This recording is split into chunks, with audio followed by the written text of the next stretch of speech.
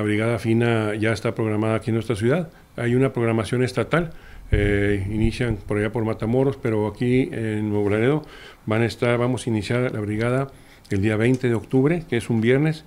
Eh, durante 10 días vamos a estar este, trabajando en las escuelas.